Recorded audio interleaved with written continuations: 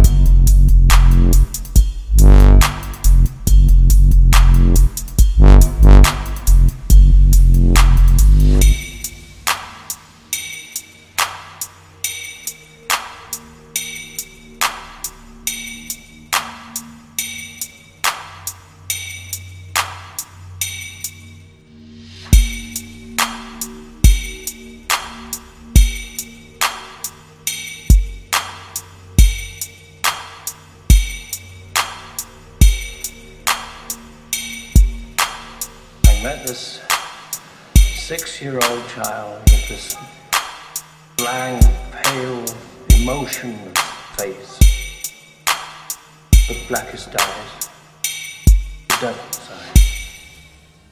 I spent eight years trying to reach him, and then another seven trying to keep him locked up because I realized that what was living behind that boy's eyes was purely and simply evil, evil, evil, evil, evil.